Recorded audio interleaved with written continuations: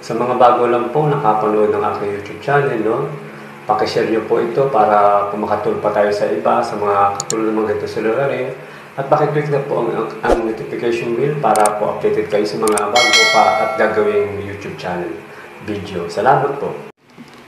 Magandang araw po sa inyo lahat. Narito naman po ang inyong physical reflexology with First Herbal Medical ng Masa. Ano? Ah, ang topic po natin ngayon ay tungkol sa pulmonya. Ano? Ah, ang pulmonya po ay yan po ay delikadong sakit. Ano? Lalo-lalo na kung baby pa o bata ang ating pasyente. Ang ating pong mga bata o matanda, no, yung, yung kanyang pong sipon, no, ang kanyang ubo, lagi po natin yung babantayan. At pag nangyari po yan, at hindi pa po mangyari, dapat eh, binabantayan natin yung kanilang pinagmumulan talaga, no, yung pawis. Huwag natin sila pabayaan na natutuyuan ng pawis sa likod, no. Kahit nga dito sa aking anak, no, kahit malamig, lalo kung tag-init, But, uh, chinecheck ko lagi ang mga likod ng mga yan dahil ayaw ko yan ay matuyuan ng tubig sa likod, no? At yan po ay delikado, lalo na kung yan ay inuubo o may sipon, no? Kung may ubo at may sipon yan, kailangan natin siya ay maagapan na mawala po yan, ano? Kahit sa matatanda. Lalo na po yung ating matatanda, kung may problema sa kalusugan, yung may matagal na karamdaman, ingatan din po natin ang kanyang kalusugan dahil yan po ay malapit sa kanyang sakit, ano? Subalit, yan po ay may iwasan natin sa katulad po sa matatanda, no? Mga pagkain masabaw lang at masustansya at laging mainit, ano? Ang sa bata rin, kailangan natin ang bata ay mapakain natin masustansya pagkain, prutas, no?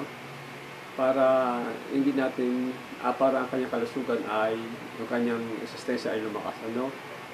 Ang gagawin lang po natin talaga dyan, pinakamin ay yung ingatan natin siya na magkasipon o magkaubo at lalo na yung mapawit, yung ng pawis, at yung isa pa ay yung electric fan. Ano? Pag natin itutok yung ating electric fan sa uluan o sa side ng ating katawan, lalo na kung naka-steady, masama po yan. Nagdadela din po yan ang magkaroon ng tubig, ang baga o ating utak. Ilagay po natin sa sapaanan, no? kung tagang init kailangan steady. Steady natin, pero kung hindi naman kailangan, kaila, uh, pag galawin natin siya para hindi po magdahilan na magkaroon ng tubig sa baga o sa ulo. Ano? Uh, ngayon po, yung pong uh, pulmonya na yan, yan po ay delikado sa sakit yan dahil yan po ay may bakterya po yan, no? At yan po ay maaaring masira yung baga, no?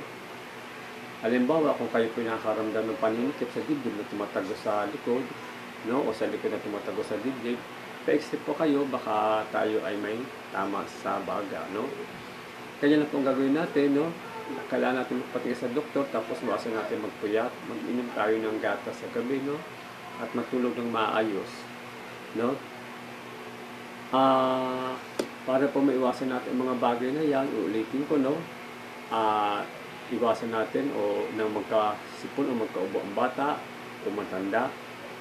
Ah, uh, ang pag papatuyo ng pawis sa bata, ina inaayaan natin matuyuan pag natayaan, matuyuan ng likod ng bata o yung matanda, no? Yung electric fan. At, sa, at ang huli, no? Huwag natin sanayin matulog tayo sa semento. Kahit po yan ay may sabi na cartoon, uh, kumot o kahoy, ay huwag po natin gagawin yan. Dahil yan po ay yung lamig sa semento, sumisigaw pa rin yan, no? Pumapanik.